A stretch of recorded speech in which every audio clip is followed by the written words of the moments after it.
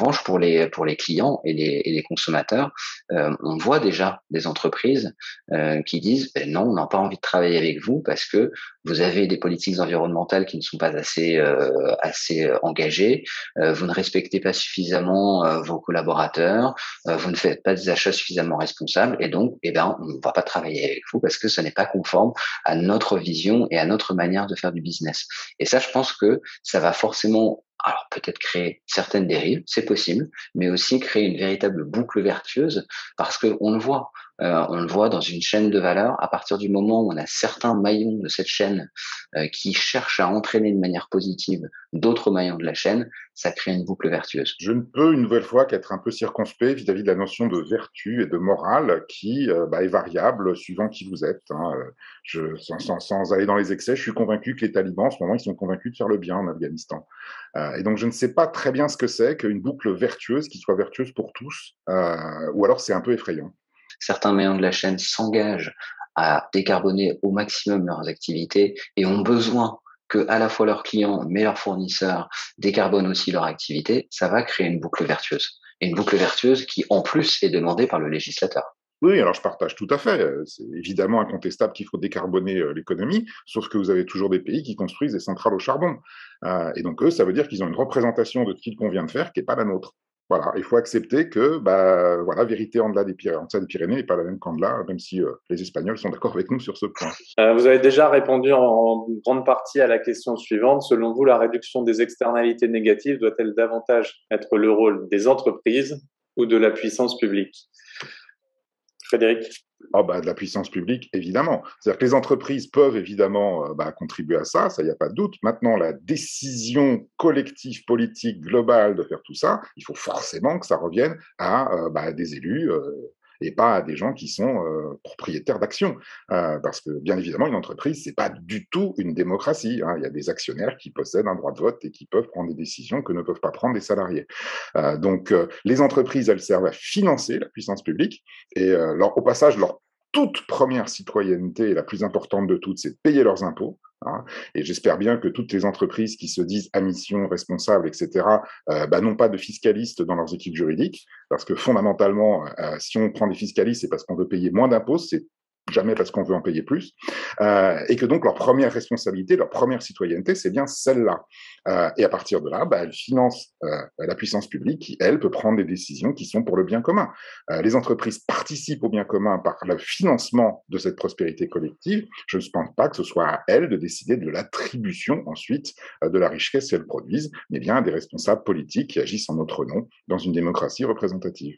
Euh, alors, je, rejoins, je rejoins, je rejoins beaucoup Frédéric. Alors sur les sur les, les, fiscalistes, après les fiscalistes peuvent aussi servir à mieux comprendre euh, comment payer le juste impôt aussi. Hein. Ça peut, ça, peut. juste, mais je remarque que le, juste impôt c'est généralement moins, c'est c'est pas plus. Hein. Certes. Euh, et par rapport euh, par rapport à ce sujet-là, euh, en fait, je pense que là, là où je rejoins complètement Frédéric, c'est sur le fait de la décision euh, de euh, la réduction des, externalités euh, négatives, c'est pas quelque chose qui doit revenir aux entreprises. Si je prends un, exemple récent pour illustrer un petit peu le fait qu'il faut pas non plus opposer entreprise et pouvoir public sur les externalités négatives, c'est ce le Climate Act qui a été poussé par une initialement par une quarantaine de startups qui font partie du French Tech 120 et du Next 40 qui ont demandé au pouvoir public de réglementer davantage euh, les startups et de leur imposer euh, des réglementations plus fortes, notamment en matière euh, d'émissions carbone. Euh, parce qu'en fait, encore une fois, une entreprise, elle a des actionnaires. Ces actionnaires peuvent avoir des volontés qui soient peut-être un peu différentes de celles des fondateurs ou des dirigeants de ces entreprises-là. Et donc parfois, ces entreprises, pour pouvoir agir de manière aussi juste et responsable que possible, ont besoin de la, de la, de la puissance publique aussi pour pouvoir, pour pouvoir agir. Je pense qu'il faut vraiment distinguer le niveau micro et le niveau macro. Au niveau micro, une entreprise peut vraiment faire énormément de choses à son niveau parce qu'elle décide de le faire. Mais c'est vrai qu'il y, a beaucoup d'entreprises qui, euh, à leur niveau, essaient de réduire leur impact sur, par exemple, la biodiversité. Euh, moi, je fais partie du, comité de mission du, groupe Cheval, qui est un, une entreprise dans la Drôme, dans les travaux publics. C'est extrêmement intéressant de voir comment ils essaient sur tout leur chantier de prendre en compte hum, l'impact de leur, de leur activité sur la biodiversité. Donc c'est, bah, par exemple, il y a des cours d'eau euh, qui euh, peuvent être arrêtés par des chantiers, bah, ils essaient de voir comment euh, ils peuvent faire en sorte que le cours d'eau ne soit pas interrompu. Euh, pareil, l'impact sur la faune et la flore, parce que forcément, quand on fait un chantier, on peut avoir des impacts sur la faune et la flore. Donc, au niveau micro, beaucoup de choses peuvent être faites par les entreprises, et ça, c'est ça, c'est quelque chose d'essentiel. Il n'y a pas besoin forcément que la puissance publique systématiquement impose euh, des choses. Elle peut le faire, bien évidemment. En revanche, au niveau macro, il y a des biens publics euh, qui n'appartiennent en soi, a priori, à personne. Euh, l'air, l'eau, l'atmosphère, ça n'appartient à personne et ça a besoin effectivement d'une réglementation au niveau politique.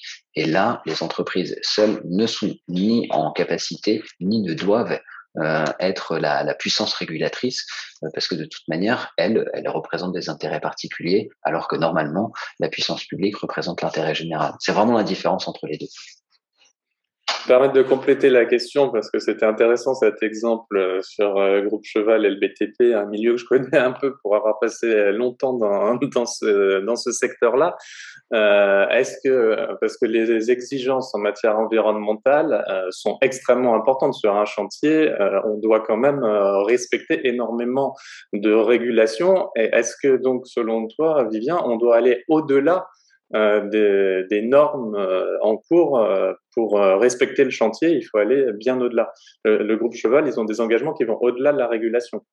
Ça. Après, oui, en fait, c'est là où ça devient très compliqué pour une entreprise et, euh, et, et j'anticipe je, déjà potentiellement euh, le, le, le, point de vue de Frédéric, c'est que euh, une entreprise, notamment quand elle est liée à des marchés publics ou en tout cas, enfin même pas forcément liée à des marchés publics, elle se retrouve en concurrence ou en tout cas, oui, souvent elle se retrouve en concurrence avec d'autres entreprises.